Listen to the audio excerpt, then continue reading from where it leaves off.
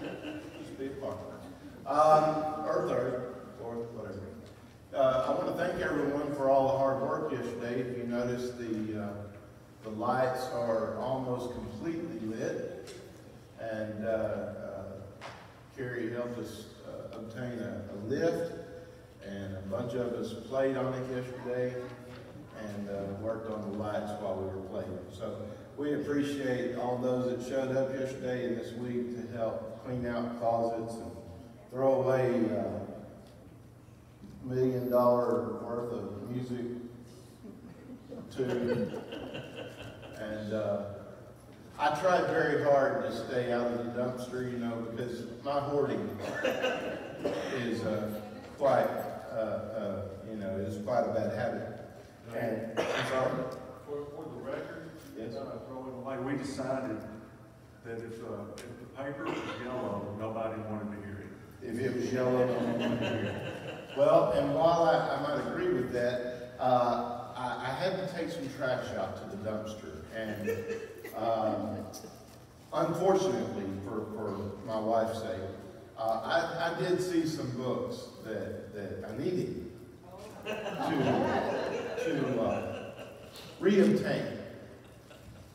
And, uh, for my wife's sake, I'm sending them to another pastor. Amen. And uh, they're in the back of your car, by the way. Uh, if you just hand those to Mike when you get home. Uh, it's only two. Only two. Uh, it's all I can see, all I can reach. Uh, so, only two. Now, did you find them in the dumpster? yes. In my defense, one was a Bible. Nobody laughed at that. yeah, see, in my defense, see, one of them was a Bible. Uh, pastor's book. I like lectionary stuff. And they both smell like sweet potatoes. They're in your car. Uh, just had to go to. You got me in trouble just, just like that. You know, it's like, I'm not gonna tell your wife, but I'm gonna ask her if she knows.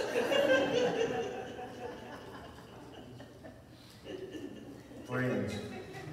Some friends. Anyway, it is good to have you all in the house of the Lord this morning. Let's look at our announcements for the week. Should have some exercise coming up. Oh, no? No? Oh, there it is. Exercise Monday and Thursday at 9 a.m. Uh, Tuesday night Bible study at 7.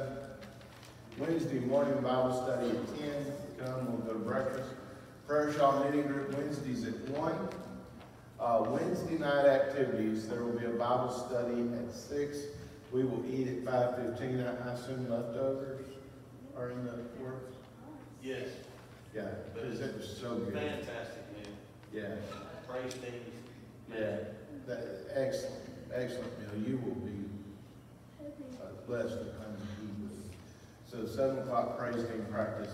And then, um, Thursday, we have anything on Thursday? Or is that your free night? No, nothing Thursday. We'll go out to eat Friday. Am I leaving Friday? Y'all will go out to eat Friday. Uh, whoever would like to do that. Uh, you, you might ask Terry if he wants to head that up since he did what he did to me. Huh? Oh, he owes, you tell him I'm racking him up. One, for not being here today. All right? Happy birthday to who? Did we have any birthday this week? No? I think Justin and, and uh, Brian and their families owe him one too, you say. Uh, happy anniversary. How about any anniversaries this week? No? All right, well, you got out of that. All right, let's talk about this beautiful color. Today is Bright Sunday. It's an actual holiday in the Christian calendar. Bright Sunday or Humor Sunday. So that is the purpose of my beautiful black coat. If I do say so myself. It was the lesser of two evils. My wife says it was the lesser of two evils. Because I walked in with one that went way down here, and it was fly, let me tell you. It was, it was fly. You probably got that out of the too. It was fly. Let me tell you, it would have taken you back to John Travolta days, you know? It, it was fly, it was really good. But she said, no, you're not wearing that to church, I'm not gonna be singing with you in that. And so I said, well, what about my wife? And she said, well, okay. So that one, she, she let me slide on, so I appreciate that. All right, um, anything else that needs to come before the church this morning? Then let us stand and sing, or you don't have to stand, I think we sit on this one, right? Yes,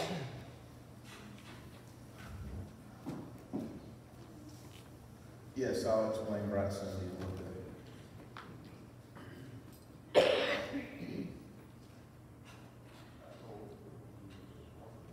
The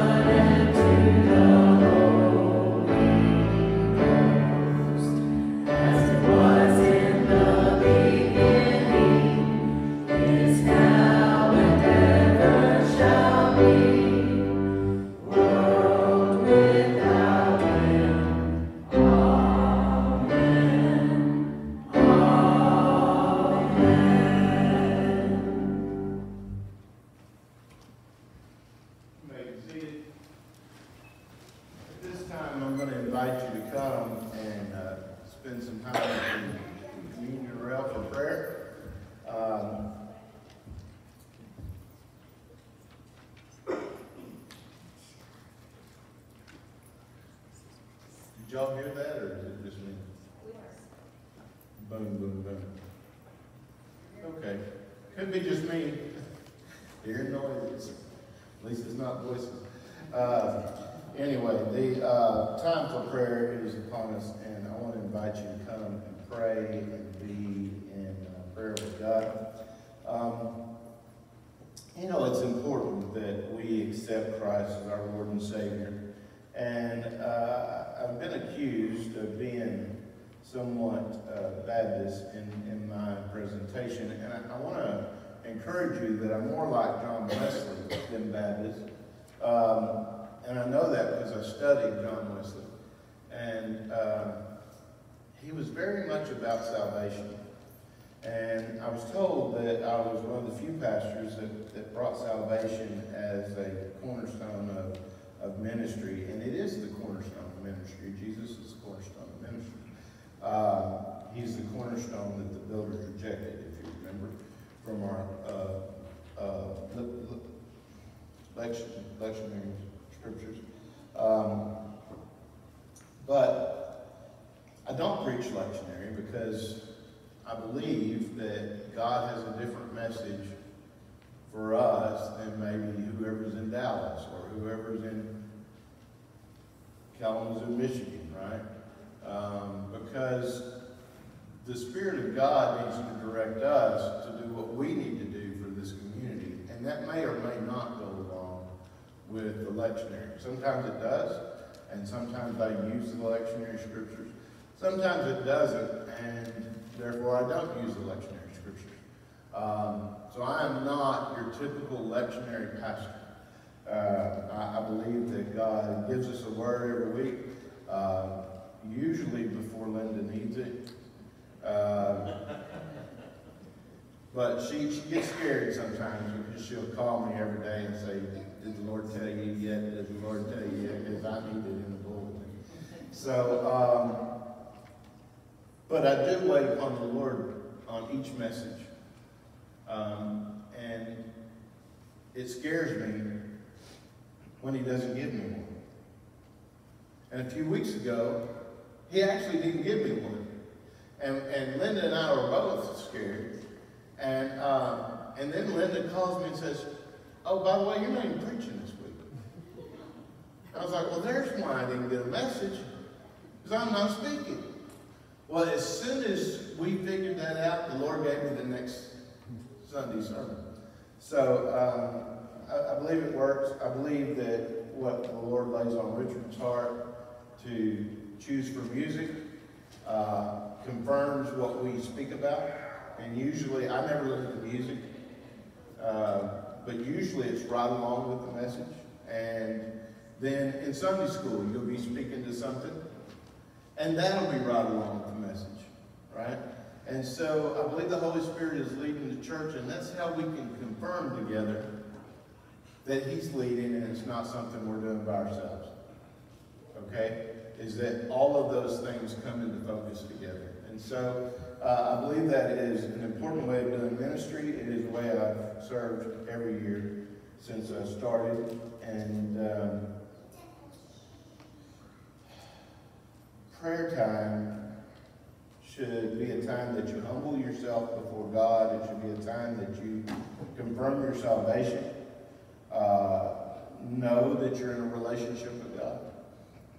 Um, in the in the Methodist Church, we call it a profession of faith, and in other denominations, it's called a confession.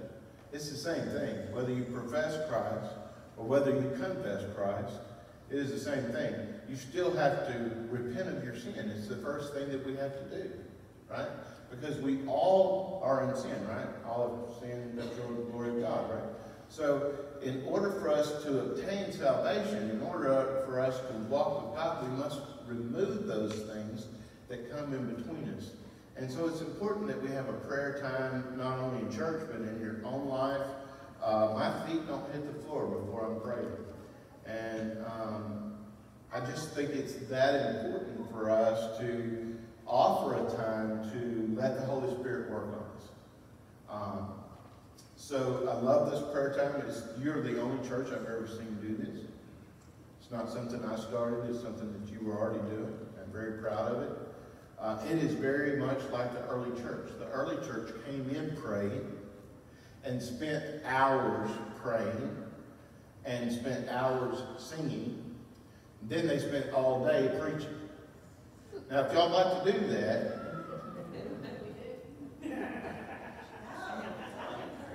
That's something you started.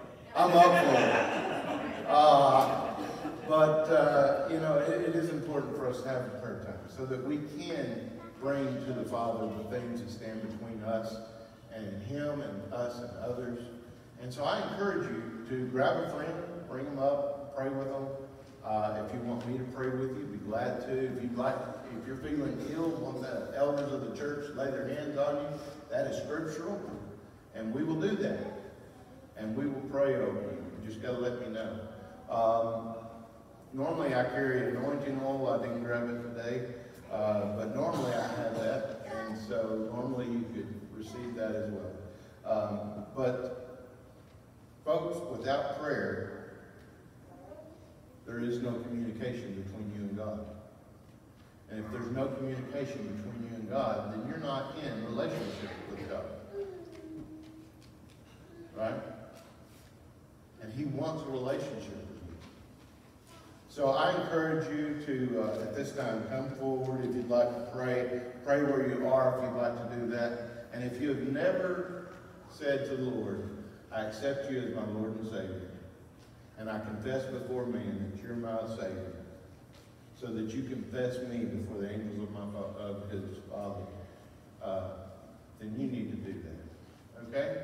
So as we pray, as we uh, have our background music, you come and let us have a time of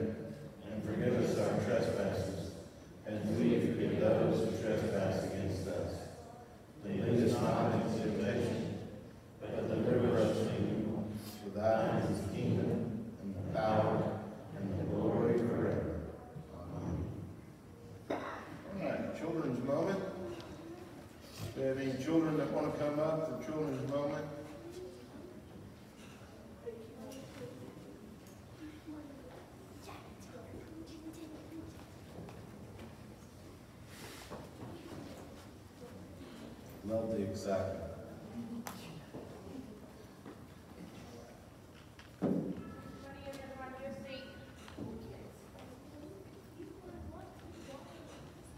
Kids.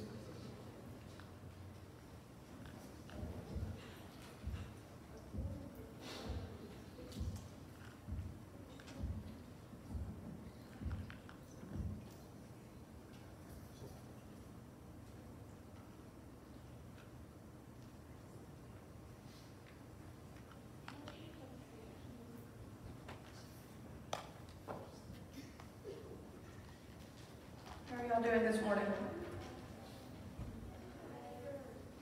You're tired?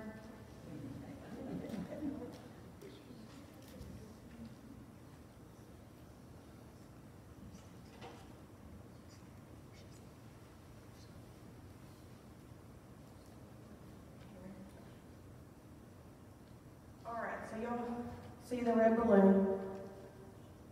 So now it's inside of here, so does that mean it's gone? Did it go away? Okay, so as believers, sometimes you might get questions like, how do you believe in God when you can't see Him? So we know, just because we couldn't see the balloon didn't mean it wasn't there.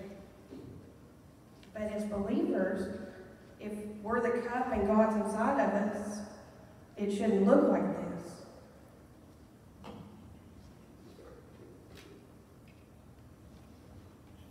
It should look like this. So when people say, How do you believe when you can't see? You say, I have seen him. I've seen him in kindness of the people around me and the people in my church and the love and the way that he's shown me in good days and bad days. Because the world can see God from inside of us. All right, let's turn around and do our prayer.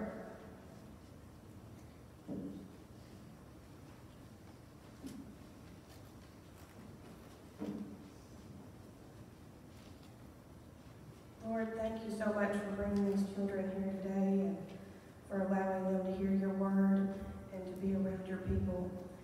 We pray that we would guide them in the way that you have called us to and that you would go with us this week as we're going out into the world. In Jesus' name, amen. If you want to go to children's church, just line up right here.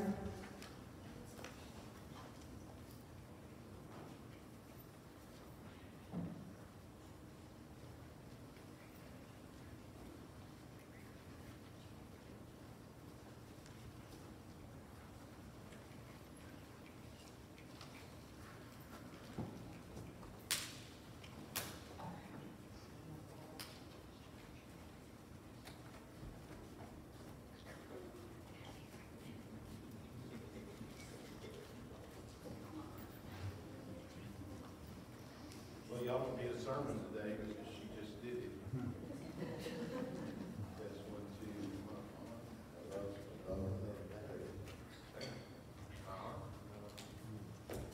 Well, I'm not now. Oh, my batteries are dead. It could be while we're getting them bumped too. Or it could be just my heartbeat. What Melanie said. Could you bring me a couple of batteries back there? Could be some on the charger. if not.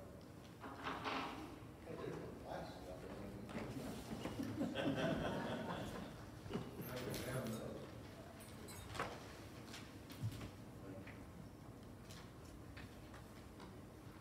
All right, ushers, if you want to come forward for our times of gifts and offerings.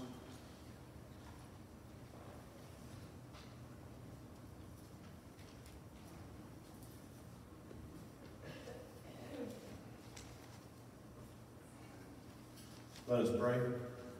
Father God, we ask you to take our gifts, our tithes, and our offerings, use them to further your kingdom on earth as it is in heaven. Allow us to be the stewards of them that you would have us to be, and give us strength to do the things you would have us to do. In Christ's name.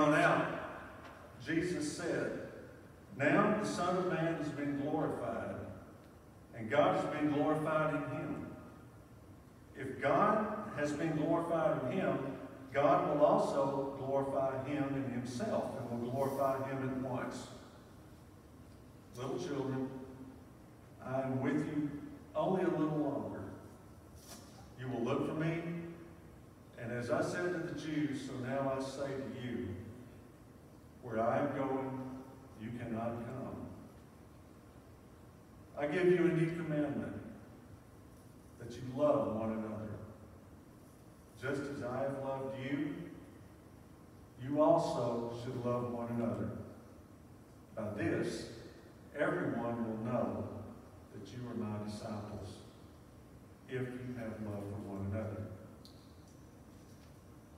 This is the word of God for the people of God. Thanks be to God. Amen. You may be seated. Um,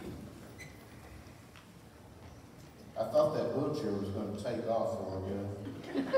Uh, Boy, don't let her have any other surgeries, because man. Way to do, way to, y'all, you praise him, y'all are awesome. Um, I'm, I'm, uh, Yeah, did. And, and she was rising even though that chair wasn't going with her. She was, "Ah." so I was really uh, quite proud, quite impressed. Um, I'm looking for a scripture and it didn't give it to me. So this is actually uh, not a new law in the respect of it's been spoken before. The Old Testament confirms the New Testament. Okay, a lot of people, um, especially in our denomination, like to just preach out of the New Testament, and and I, I have I take issue with that and the fact that the, if you don't have the Old Testament foundation, it's hard to stand on just the New Testament. Now, the New Testament is plentiful for us, right? As Jesus, God that loves us, Jesus that saves us. So that's very good, and all the uh, all the proofs of how to live as a Christian are there. But the Old Testament confirms it. Everything that is spoken in the New Testament has some Old Testament confirmation. But in vice versa, the New Testament also confirms the Old Testament. And so you can't have one without the other. We need both. And um, in Jeremiah, there's two scriptures that go along with loving God and loving others as yourself. So this, this commandment, this new commandment, is not just about loving God and loving others as yourself. It's more than that. It's going a step further than that.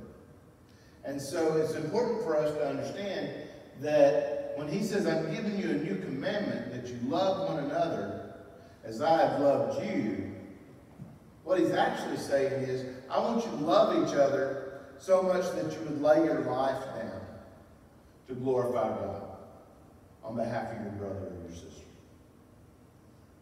And that's a whole different way of looking at loving one another because it's a sacrificial love. It's a love that costs you something. And it's hard for us to pay the price. Some of us this week came up and, and worked on the church, and we paid the price for the sake of the building. Tim's laughing at me, but we paid the price, right? Whether it was our time, whether it was our muscle aches, whether it was whatever it was, money out of our pockets to get parts and all that kind of stuff, whatever it was, we paid the price for the love of the church and for the love of you. To have a nice building to be in, to worship in, to bring God in. The, amount of lights, God doesn't care about. God cares about you being here. You say, well, he don't really care if I'm here. Yes, he does. What did he say? Do not forsake the assembling of yourselves together as some are in the habit of doing. Right? So, that sounds like to me he cares.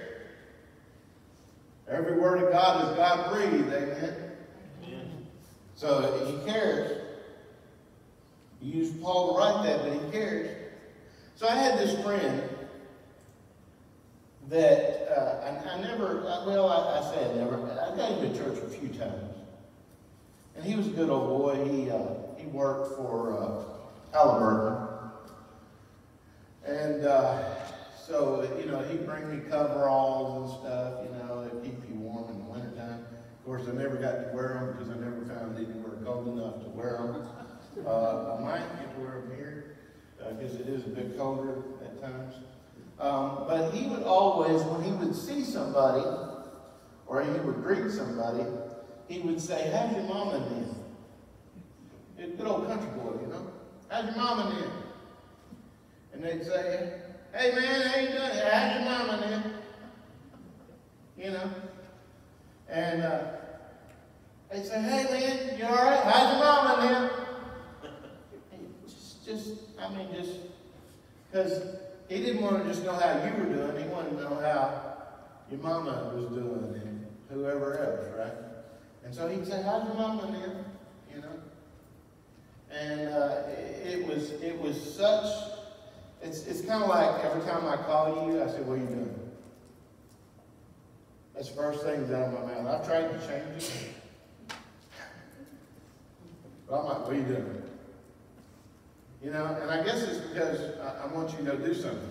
You know, what are you doing? You busy? You want to talk to me? you know, you want to go fishing? Whatever, you know. Uh, so, but I just, I was always in awe of, how's your mom and them? And the responses he would get back, oh, they're doing fine.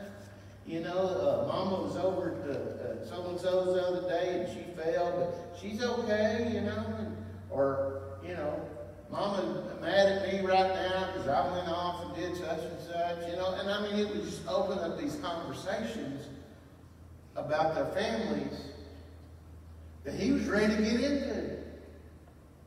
And he was a quiet guy, so he didn't go around telling what he knew. He just, he just knew everything by asking that one simple question, how's your mama doing? How y'all doing? How's your mama doing? You know, just what an East Texas way of doing things, right? So, uh, as I apply that to the church, we ought to be that caring about one another. How's your mama doing? How, how, how's your sister? How's your daddy? How's your, you know, how's your dog doing? Because we all got dogs. Um, there's more dogs in New Boston than anywhere in the state of Texas. I want you to know. And um, anyway, you know, so how's your dog? How's your cat? How, how you doing, right? You know, what are the things you care about? How is it going? Right? And in the church, we are brothers and sisters. In case y'all didn't know that, I'm one of your better looking brothers, but you can look around and pick up some that might not be. But, you know, better looking brothers right here and sisters than, than even at home, right? You know, uh, my brother's coming up. And uh, every time I tell my wife that my brother's coming up, she goes, why? and I'm like, well, because he wants to see me. Why? Uh, but she, he's coming up soon, and, and I told him I'd take him out in a new boat. But, uh, you know, maybe don't throw him over. Maybe. But anyway, he's got some paying to do for things we grew up with. But anyway, you know, uh, how's your mom and them? How's your brother? How's your sister? How's a church? as a church family? Huh? Y'all getting together? Y'all going out to eat on Friday night? What do y'all do that for? Oh, it's so much fun. We get together and we eat and we talk, and Brother David tells us crazy stories about his family, and you know, we just have the best time laughing and cutting up and getting on. You know, we spend two or three hours on Friday night together. And it is the best time. Why? Because you're sharing it with your family. It's family time. We may even do a game night one of these days. You know, y'all used to do that earlier. I love game night. And boy, I've got some games. I bet some of you ladies got a Mexican train game or chicken foot. Uh-huh. Amen. See, we, we, we just get in all, how's your mom and them? Well, speaking of games, I thought we'd kind of, you know, practice a little bit. Now, listen, I did this at another church. And some of the uh, glorified uh, elders of the church uh, did not understand what you do. And so when this came out, they slapped it to the ground. Don't slap it to the ground. All right? Uh, you're going to get a holy movement motion going here. You're going to you're going to push up to there. Okay?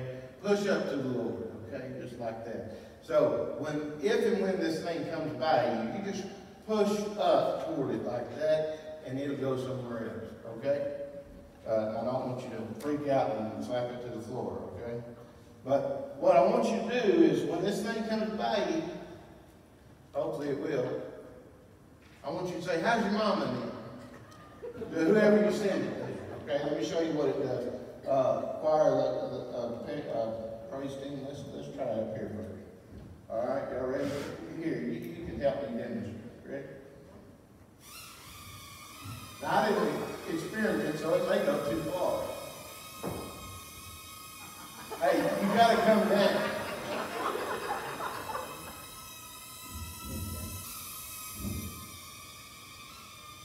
How's your mama? How's your mama doing? Us people get to go to area. See, you slap it, it just hits the ground. Here, just throw it up there. It's behind you, watch out. It almost took your head off. All right, flip it up there. Well, not kind like that. She did flip it. Oh, it's going so good. How's your, I ain't heard how's your mama doing yet. Your? Yeah, you keep her right here, let me tell you. All right. See, I told y'all we need some help. All right, up. There you go. All right. So it comes new, hopefully, just say how's your mama, you know, and shoot it to somebody else. It, this thing loves the high air. There you go. How's your mama, Miss? There you go. Come down there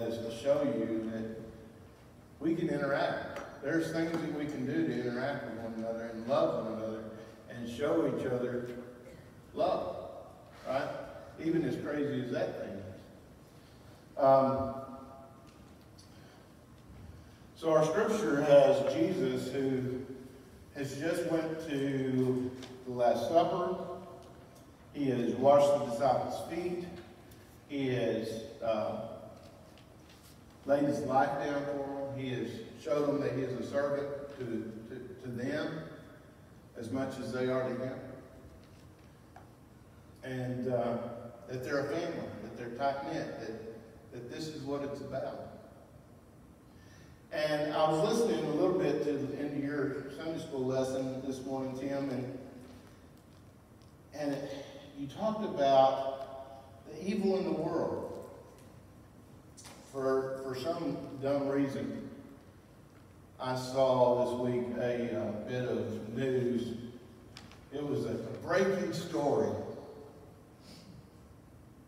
And I guess they, maybe they broke into the program I was watching, or I don't know, somehow I was walking through and there it was. This guy um, played Edward Scissorhands. Johnny Depp. Johnny Depp is on trial for, for uh, being abusive to a young lady uh, who, for whatever reason, was in a movie with him or working with him or something. I don't really know what's going on. Uh, I try not to. Um, but, so they would ask Johnny Depp a question, and he'd say, well, no, that's not entirely true. Then they'd go and they'd get his uh, uh, deposition from England, where they were basing their questions from. And they said, well, in England, you, you, you swore that was, that was it. That that's exactly what I just asked you. And, and, and here he was trying to make up a story, or I've been there, he making up a story, or whatever. Um, but one thing I heard him say was the reason he did drugs was to quiet the demons within him from his childhood. Quiet the demons in him from his childhood. I would venture to say at least half of them did not have a good childhood. You know?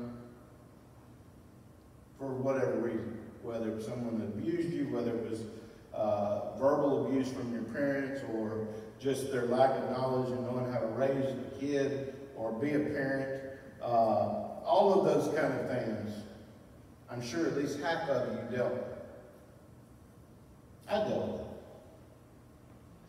But here's the thing. When someone gets in trouble, they want to blame their childhood. You know? Well, I do drugs because I had such a horrible childhood. But that horrible childhood led me to be Johnny Depp,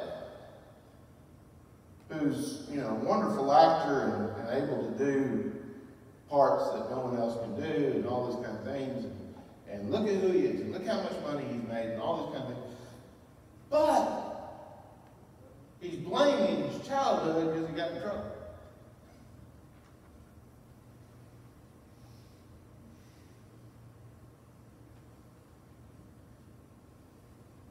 I am who I am because of my childhood. Amen. Amen. You know? And I'm not a great guy. I, I, I try to be. Uh, I try to be a hard worker. I try to uh, be focused, and I'm not very good at that. And um, I try to, you know, uh, be a good pastor, be a good leader. But without God, I'm nothing. See, I used to not be cool. But I am now. Because I found Jesus. And Jesus made me cool. You know? I even got to meet the Fonz one time. You know, I got to meet Henry Winkler. He said before he needed forty dollars to sign a picture for me. You know? Had to meet the Fonz, you know? Why? Because Jesus said I could. You know, he happened to be in the place that Jesus had me. Annual conference. Got to meet him. There he was. You know, hey, you're the Fonz, hey. Well, I bet he ain't sad. You know? I'm cool because Jesus is cool. You know, and kids today, I mean, they think, oh, you know, hey, don't, don't, don't share that Christian stuff, man. That gets, you can't talk politics, you can't talk about church. Yes, you can. If you don't, people are going to make poor decisions. Now, don't go in there and say, oh, you need to vote for so-and-so. Now, that's wrong. Okay? But if you go to your kids, for example, and you say, or your grandkids, and you say, let me ask you, why would you vote for so-and-so? And they say, well, he's this, and he's that, and he's this, and that. And then say, well, why would you vote for so-and-so, the other, whoever it is? Well, I wouldn't because he's this, he's that, he's... And where did you get your information? Did you study it for yourself, or are you just listening to the media? Right? Because, see, our country promotes what is bad as what is good. Have you seen Teen Mom 2? I've seen a commercial. All right? I can't stand commercials. Thank God for the machine that records all the prime time so you can fast forward the commercial. But I saw this deal called Teen Mom 2. And they're talking about how they love this guy straight out of prison and he's all this and all that. And, there are some that get out of prison that are this and that and they're good guys. But there's some that are still the thugs that they were when they went in. And the more thuggish you are, the better chances you have to get on that show. Because they don't want to promote functional families, they want to promote dysfunctional families. Why? Because it's entertainment. What happens with that? You start acting like them people. Because the media said, that's cool. I'm sorry. Jesus says, that's wrong. And he's the only one that's cool. You're only cool because of him. I'll give you scripture. Uh, and you don't have these, Miss Paula, but I'm going to give you a scriptural, three scriptures of example for that. Because we need to back everything I say up with scripture. Amen. Amen. Got a sign over here. It's like, oh no, he's going to read more. For he is God's servant for your good. But if you do wrong, be afraid, for he does not bear the sword in vain. For he is the servant of God, an avenger who carries out God's wrath on the wrongdoer. Okay? So first know that if you do bad, God's going to eventually get you. Johnny Cash sang a song about it. One who is righteous is a guide to his neighbor. Now we're talking about loving our neighbor, right? Being in love with our friends. One who is righteous is a guide to his neighbor, but the way of the wicked leads them astray. You fall in with the, the ones that are doing bad things? You say, well, I'm a witness. I had a son-in-law who came to me one time. First time he met me, he was covered in piercings. And if that's what you want to do, hey, stick a needle in your head. I don't care. I really don't. I mean, that's beautiful in some people and ugly in others. I, I'm just, it, it, and my daughter came down and she had this ring in her nose. And it looked like an old keychain. And uh, I said, honey, did you get involved with a keychain? Because the keychain won. And uh, she said, no, Daddy, I just want to get my nose pierced. I said, all right, well, let's go to the mall and put a diamond there instead of a big old ring. Looks like you got it off a keychain. So we went and bought her a cute little diamond, put it in there. All right, you're gonna pierce your nose, make it beautiful. You know, that's all I can tell you. But then my son-in-law, he's riding around with him. I- I'm showing him Kilgore. We was in Kilgore at the time. I'm showing him everything. He's riding around with me, and, and I haven't said a word about this stuff, right? And I had set in my heart I was not going to say a word, right? I wasn't going to give him the satisfaction of saying anything, right? Wasn't going to be down about it. Wasn't going to be up about it. He said, "I guess you're wondering why I got all these piercings." Now, when they see all these piercings, there wasn't room left.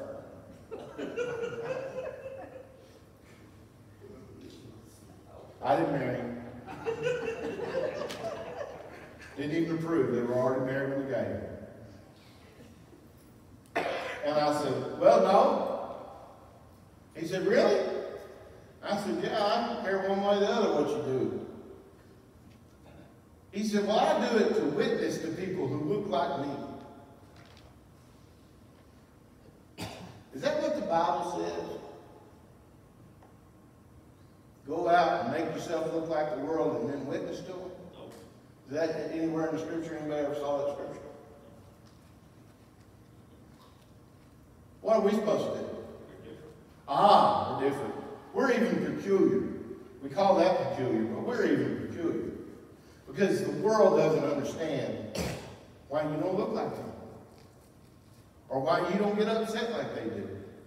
Right? All right, look at this, this other scripture about that. Proverbs, the fear of the Lord, let's see. Oh, that's not the right one. Here it is. One, uh, 12, 26. One who is righteous, oh, I already gave that one, is a guide, but the way of the wicked leads them astray. Here it is, 1 Corinthians 15, 33. Do not be deceived. Bad company ruins good morals.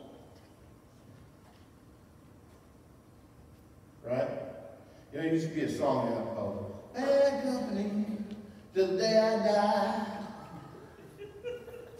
Well, it won't be long.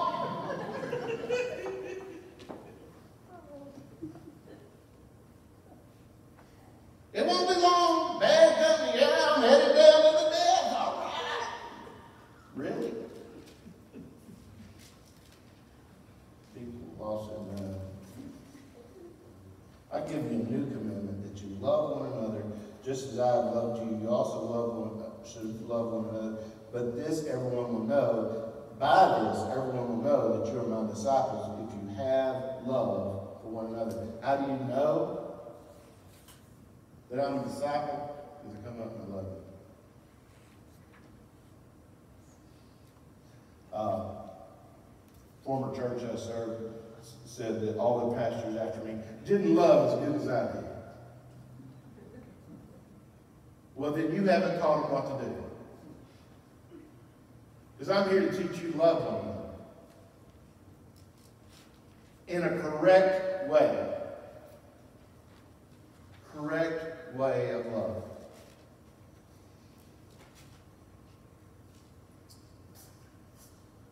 Our calling is different for each one of us. Some of you are called to serve the church, some of you are called to serve the community, some of you are called to serve Sunday school, some of you are called to serve as anywhere that we need fill in, some of you are called to cook, some of you are called to clean, some of you are called to speak, some of you are called to act, some of you are called to walk, some of you are called to run, some of you have a calling that you haven't answered yet. But as a child of the King, when you accept Christ as your Lord and Savior, He places a call upon your life, whatever that is. You say, well, I'm really good at this. Then use it for the Lord. Remember the rich young man that went before the Lord and said, what must I do to be saved? And he said, well, go home, sell everything you have, give it to the poor, come back and follow me. And he said, whoa, wait a minute. I'm good at the riches. I'm not so good at doing. And he went away sad. Right? If you've got my cousin, I love him. He can make money out of. Hey, You know, I mean, he can look at a round bale, get three times what it's worth for it. Why? Because he goes to somewhere they don't have round bales and says, hey, y'all want some round bales? I'll get them to you. Three times what they're worth. You know? And they're like, oh yeah, we need some of those. Bring them on. Bring as many you can get, right? And then he's just head over heels in money. And then he goes to his church. He says, all right, who's in the mission field this week? Who needs a little extra bump? And that's what he does. Constantly. The Lord gives him money, turns around, goes and says, all right, here, y'all do that. Let me know if you need anything else. Uh, I, I'll brag on guy, Ray Polk. Some of you may know Polk Oil. Uh, Ray's a good friend of mine. He's the same way. You get in a bind, let me know. You get somewhere you need something to do, you let me know, I'll help you. Carl Ray's the same way, his son. And usually you don't see that with the son, right? But Carl Ray the same way. I went to Emmaus with him. I was his, his table leader. You know? Great guy. Why? Because the Lord put me there, let me be cool.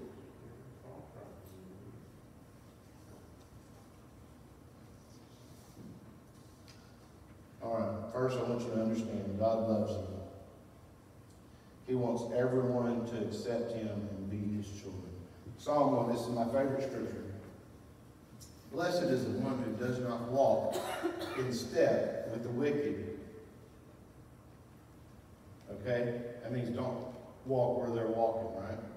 Or stand in the way that sinners take. Or sit in the company of mockers but whose delight is in the law of the Lord and who meditates on his law day and night. That person is like a tree planted by streams of water which yields its fruit in season and whose leaf does not wither. Whatever they do prospers, just like my cousin. Do not so the wicked. They are like chaff that the wind blows away. Therefore the wicked will not stand in the judgment, nor sinners in the assembly of the righteous. For the Lord watches over the way of the righteous, but the way of the wicked leads to what? Destruction. Destruction. It leads to destruction. Eventually, God's going to call his. I want to share with you why I love this scripture. It is the only scripture that I prefer out of the Message Bible. Okay? Here's what it said back in the 60s. If I can find it. How well God must like you. Isn't that good? God likes you. God likes you. God likes you. How well He likes you. He likes you. You don't hang out in a sin saloon. Isn't it? You can't make it up. It's right there. It's in the Message Bible. You, uh, in the 60s, you don't swing along dead end roads. And you don't go to a smart mouth college.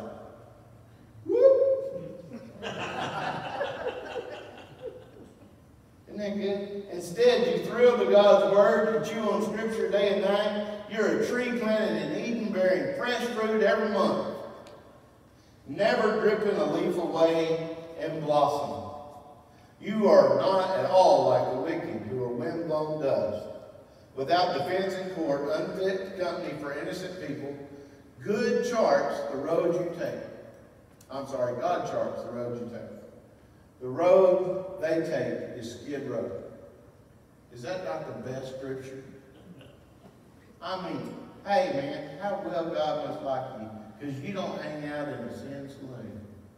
Man, makes me want to put my guns on, my cowboy hat, man. I mean, gets me excited. Now let me read to you the way it is today in the Message Bible. How well God must like you. You don't walk in the ruts of those blind as bats. You don't stand with good for nothings. See, this has been written by my grandma. You don't take your seat among the know-it-alls. Instead, you thrill to God's Word, you chew on Scripture day and night, you're a tree replanted in Eden, bearing fresh fruit every month, never dropping a leaf, always in blossom. You are not at all like the wicked who are mere windblown dust, without defense in court, unfit company for innocent people. God charts the road you take, the road they take leads to nowhere. That's Psalm 1. Three different great visions of what David wrote. Are you hanging out with God? Are you hanging out with God's people? Or are you hanging out with those that you shouldn't be around? Do you have defense of God, or are you trying to defend yourself? Are you on God's road, or are you on the road to nowhere? I mean, if we can't understand that, we can't understand the faith. You know? And, and so I love Psalm 1, and it's my favorite scripture. Second, James 4, 1 through 6. We have to submit ourselves to God. It says, What causes fights and quarrels among you? Why are you fighting with one another? Uh, they talked about Tommy Neely, and he didn't like frustration in church. If, if somebody got to fighting, he just he just cut out. Go find him a church that wasn't fighting. You know, you should never fight with your brothers and sisters in the church. Y'all do what you want to at home. Okay? But you probably shouldn't fight there either. Just saying. But what causes fights among you?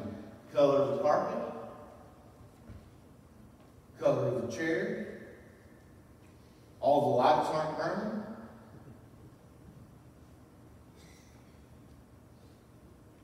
Boy, now all those lights are burning, electric bill's gonna be out of sight. You know, all these quarrels over things that you just need to stand up and take care of. Right? Well, I'm the only one that never shows up. I know who those are. And God bless you.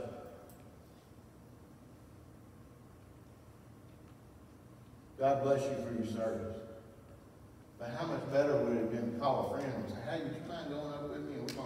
I wanted to get this done. Man, we could, we, you know, we could talk and visit. Yeah.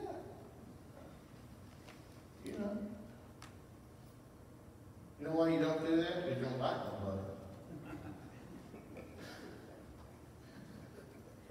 My wife be first to tell you I don't like people. Not me, her. I love people. I need them around. I need people. You know, I'll be calling ten people instead of one. You know, hey, y'all want to go do this? You know. And that's fine. I understand some people don't like other people. But what if somebody needs you and through that work you can get something done for them? You could love them in a way that would bring them out of a, the slump they're in, or love them in a way that would be pleasing unto God. Submit yourselves to God. What causes fights among you? Desire but do not have, so you kill. You covet, but you cannot get what you want, so you quarrel and fight. You do not have because you do not ask God. When you ask, you do not receive because you ask with wrong motives, that you may spend what you get on your pleasures. You adulterous people, don't you know that friendship with the world means enmity with God, against God? Therefore, anyone who chooses to be a friend of the world becomes an enemy of God. Or do you think Scripture says without reason that he is he he jealously longs for the Spirit he has caused to dwell in us, but he gives us more grace. In other words, in spite of everything, he offers you grace. You know what? Sometimes we do things we, we can't, there, there, there's not enough grace abounding in the world to cover what we've done. But God says, my grace is sufficient for you.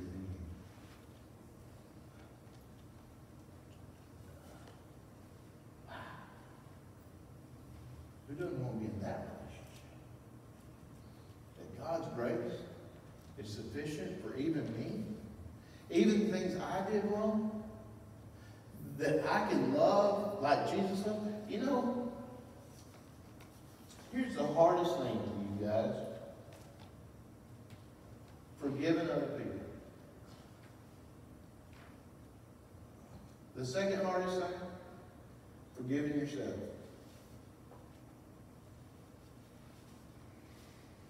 You say, well, the last thing I said to my wife was not good. The last thing I said to my husband wasn't good. Or I didn't take good enough care of him. Or she, I didn't take good enough care of her. Or I, I did, you know what? I watched a man who I dearly love take care of his Parkinson's, Alzheimer's wife every day. And he would get her out and load her up in the truck, get her a wheelchair, take her around and do things with her. And the only time he ever had for himself was an hour or two in the mornings while she was still sleeping. He would come up and have coffee with her. And then he did our finances at one of the churches, and so he would drive up with her in the truck and do the finances and take care of her. Took her camping, took her all over the, bought one of them big deals uh, that you drive around and camp in, and uh, uh, just just an awesome guy. And, and he did that over and above what any person I've ever known would have done because he was trying to live up to another friend of ours who had already died, named Mr. Ruby, who had done that for his wife.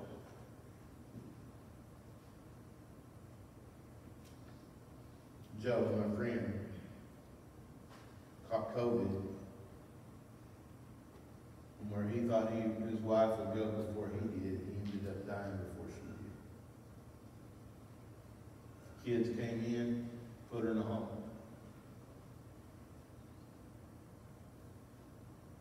Eight months later, she just died this past week. Alone, at home.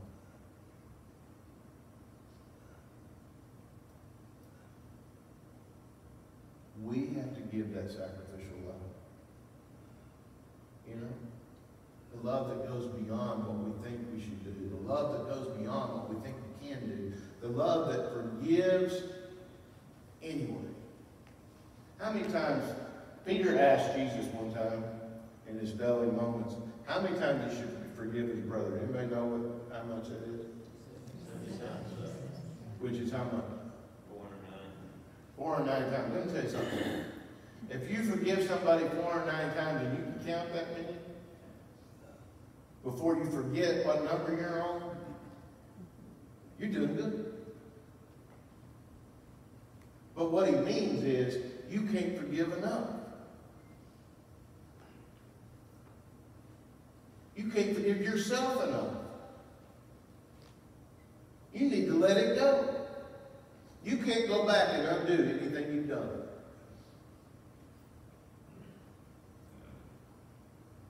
But Jesus covered it all on the cross. So you can go forward. You can move forward. You can forgive yourself. You can move into forgiveness of others.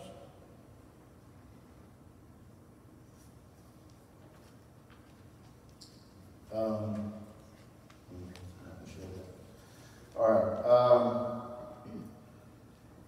what verse are we on? But he gives us more grace. That is what the scripture said. God opposes the proud, but does what? Shows favor to the humble. Submit yourselves then to God. Resist the devil. That's the hard one. And he will flee from you. Whew.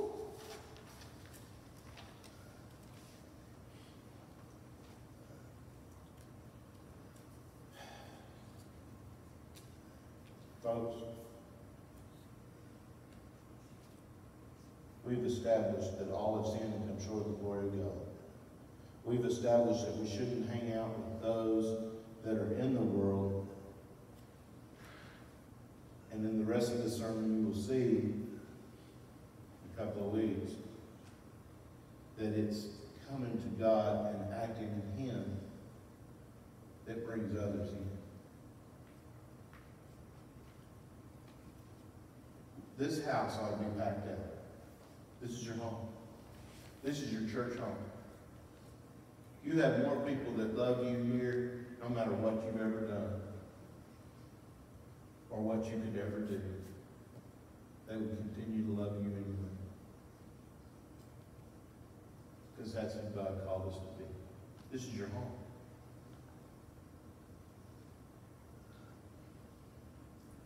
We're going to take care of each other. Doesn't matter what's on the sign, doesn't matter what the Methodist Church is going through. We're going to be a family. We're going to love each other through it all.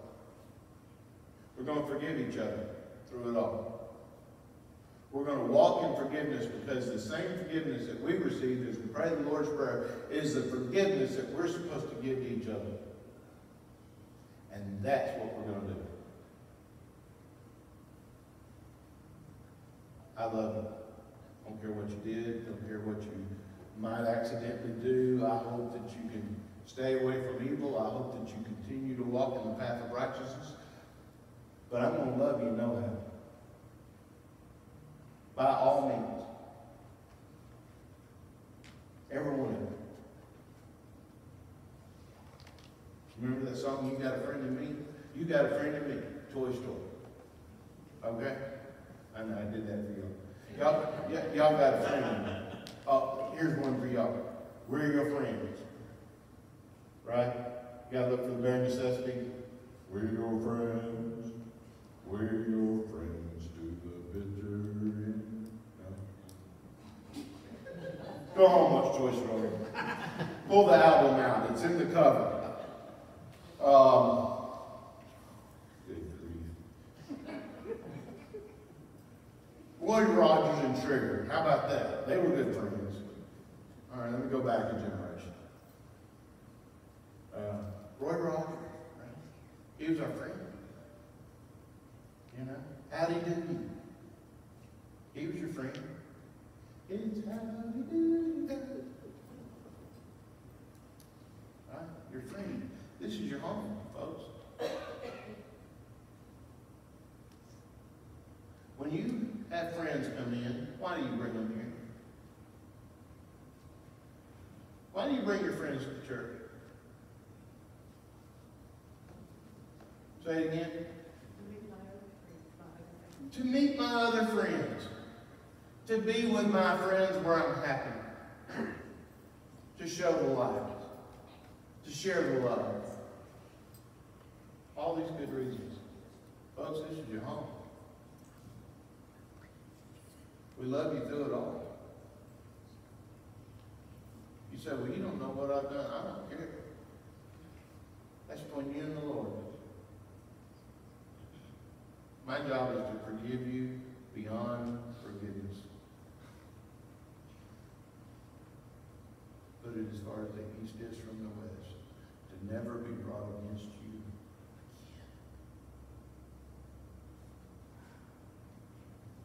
See, when you start loving each other like that, man, that's love. That's love worth having. In the name of the Father, and of the Son, and of the Holy Spirit. Amen. As we sing this morning, only trust Him. You need to accept Christ as your Lord and Savior. Today is the day. If you need to join this church, like to have a beautiful sign in your yard. You come on up, we'll take care of that too. As we sit, stand and sing, only trust Him. One, two, and four.